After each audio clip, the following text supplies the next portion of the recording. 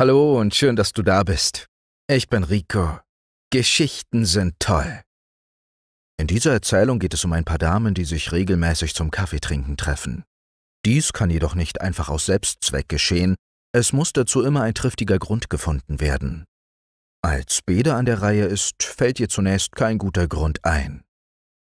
Wenn du keine Erzählung mehr verpassen willst und den Kanal noch nicht abonniert hast, dann abonniere ihn und aktiviere auch die Glocke. Und jetzt viel Spaß beim Zuhören.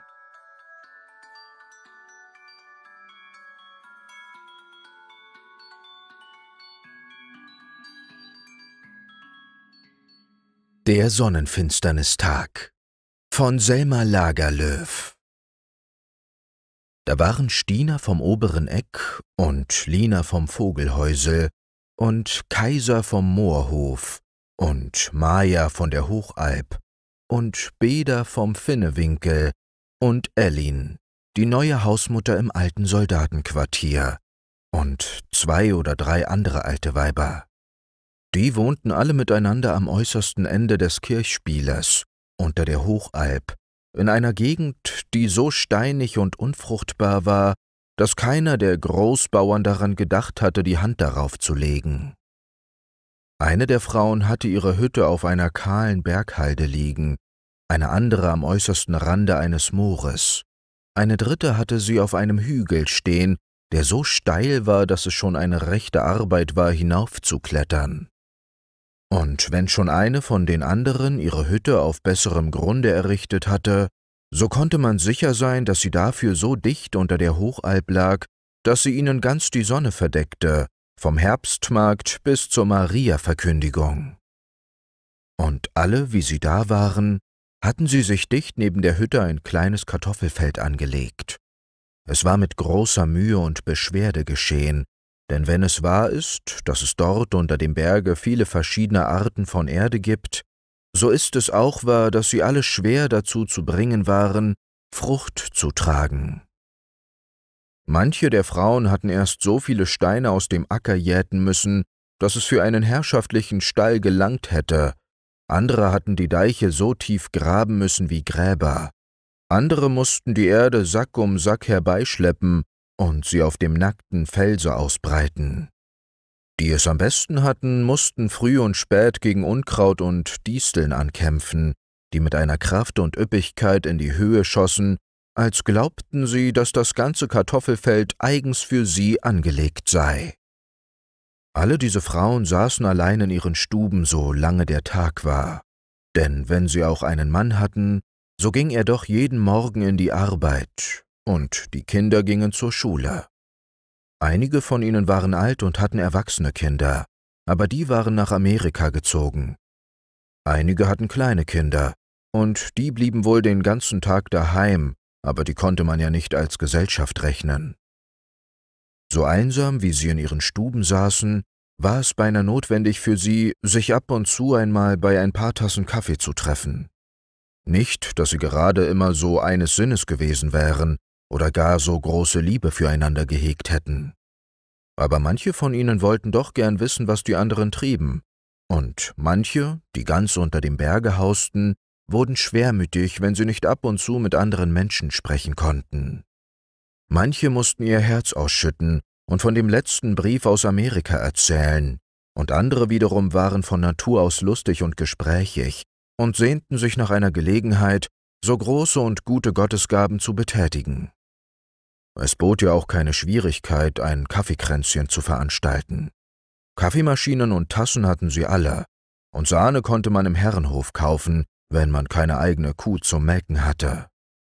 Backwerk konnte man mit dem Meierwägelchen aus der Stadt vom Bäcker holen lassen, und Landkrämer, die Kaffee und Zucker verkauften, gab es überall.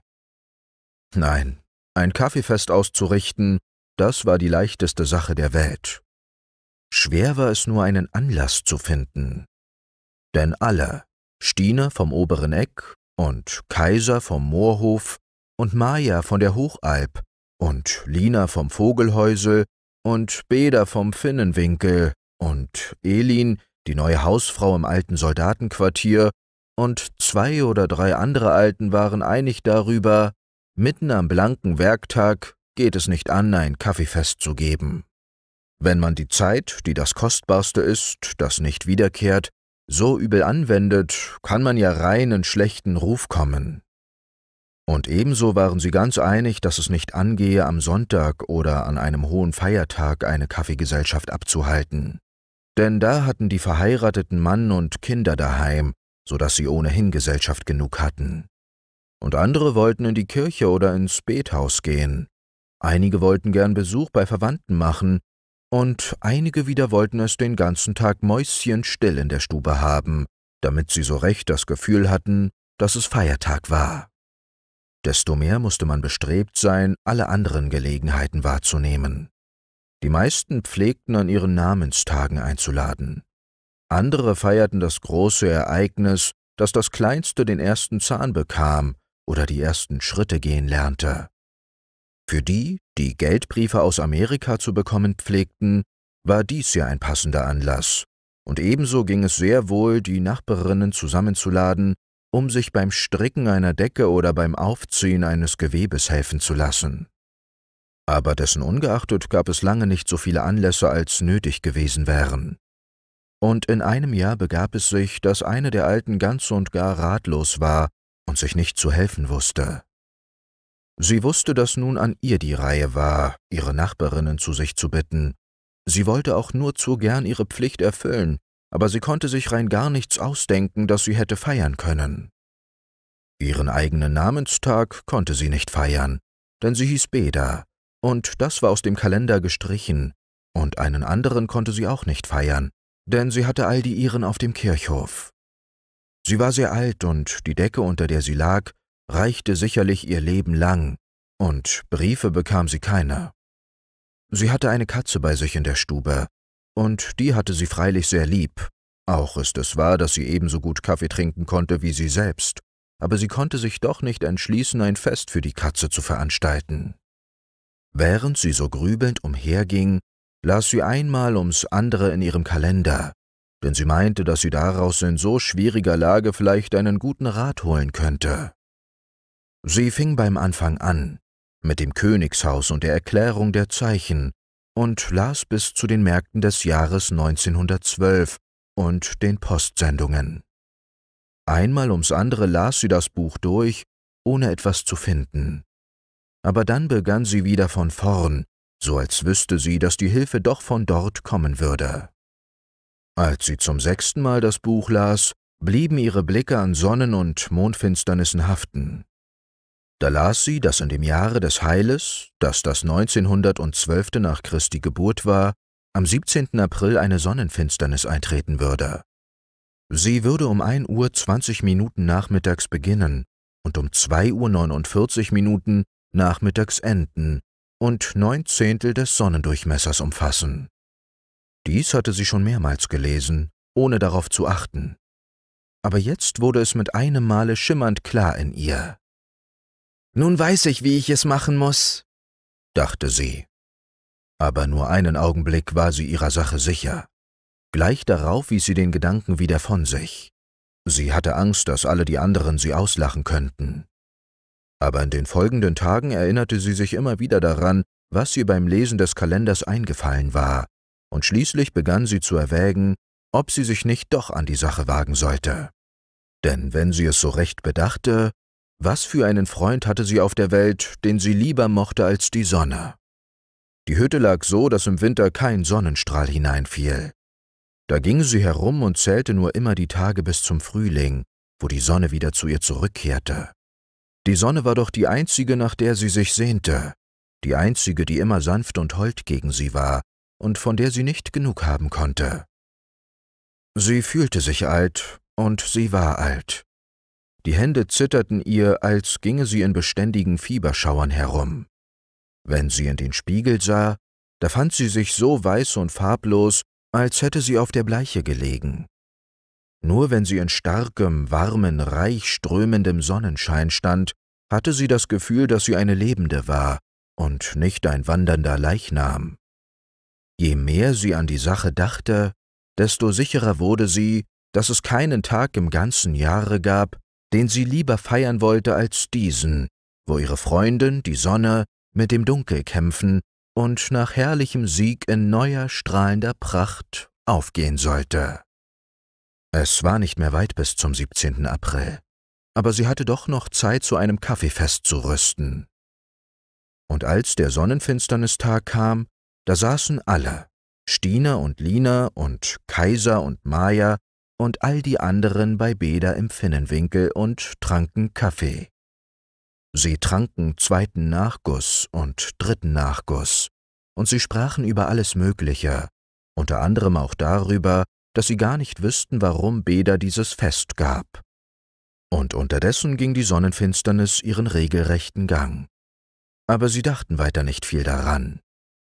Nur einen Augenblick, als sie auf ihrem Höhepunkt war, als der Himmel schwarzgrau wurde und alles in der Natur einen bleifarbenen Überzug zu haben schien und ein heulender Wind herangesaust kam, der den Klang der Posaunen des jüngsten Gerichts und des Weltuntergangs hatte, da wurde ihnen doch recht gruselig zumute. Aber dann schenkten sie sich eine frische Tasse Kaffee ein, und es ging vorüber. Als das Ganze vorbei war und die Sonne im Kampf gesiegt hatte und so blinkend froh am Himmel strahlte, da sahen sie, wie die alte Bede ans Fenster trat und mit gefalteten Händen stehen blieb. Sie blickte über den sonnenbeschienenen Berghang hin, und dann begann sie zu singen. Die goldene Sonne zeigt sich am blauen Himmelszelt, aus frohem Herzen preise ich dich, Gott und Herr der Welt. Dünn und durchsichtig stand sie am Fenster, aber während sie so sang, umspielten sie die Sonnenstrahlen so, als wollten sie ihr von ihrem Leben, ihrer Farbe und ihrer Kraft geben. Als sie den Psalmenvers beendigt hatte, sah sie die anderen an und sagte gleichsam entschuldigend, Seht ihr, ich habe doch keine bessere Freundin als die Sonne, und darum wollte ich das Fest am Sonnenfinsternistag geben. Ich wollte, dass wir alle zusammenkommen, um sie willkommen zu heißen, wenn sie aus dem Dunkel tritt. Nun begriffen alle die Absicht der Alten. Sie waren gerührt und fingen an, gut von der Sonne zu reden. Sie sagten von ihr, dass sie gleich gut gegen arm und reich sei. Wenn sie an einem Wintertag in eine Hütte komme, dann sei das ebenso schön wie ein Herdfeuer. Und wenn sie nur scheine, sei es eine Lust zu leben, was für Sorgen man noch zu tragen habe. Als sie von dem Fest heimgingen, da waren sie alle miteinander fröhlich und vergnügt. Sie fühlten sich reicher und geborgener, weil sie auf den Gedanken gekommen waren, welch gute und treue Freundin sie doch an der Sonne hatten. Aber weil dies eine große Sonnenfinsternis war, bei der ganze neun Zehntel der Sonnenscheibe verdeckt waren, erregte sie überall, wo sie sichtbar wurde, großes Aufsehen. Gelehrte Forscher zogen mit ihren Instrumenten aus, um zu messen und zu rechnen. Gewöhnliche Leute schwärzten Gläser und Operngucker und standen lange da und guckten die Sonne an. Die Schulkinder durften die Klassenzimmer verlassen, damit sie sich an der Sonnenfinsternis satt sehen konnten.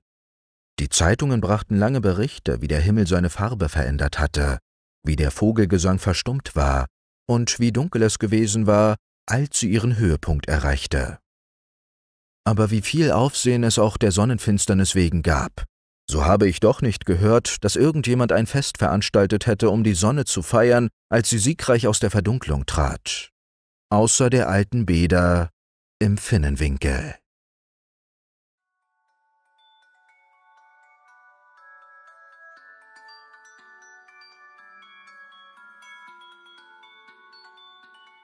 Danke fürs Zuhören. Wenn dir die Erzählung gefallen hat und du noch nicht schläfst, würde ich mich über einen Daumen nach oben und einen Kommentar freuen. Und falls du noch nicht schlafen kannst, findest du hier eine weitere Geschichte. Bis bald.